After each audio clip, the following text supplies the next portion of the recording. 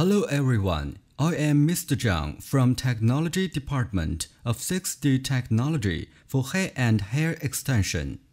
I will introduce you the basic steps for using our product. Let's start to learn how to use it.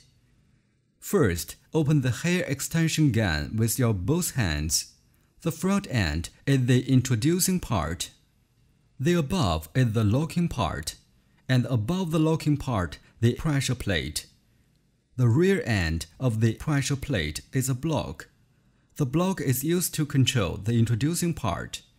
You can push it back with your thumbs.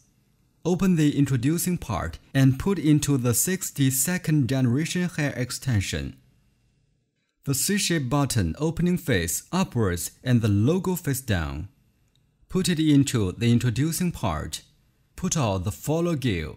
Use your left index finger to put in the gap behind the button, and put your thumb on the front end.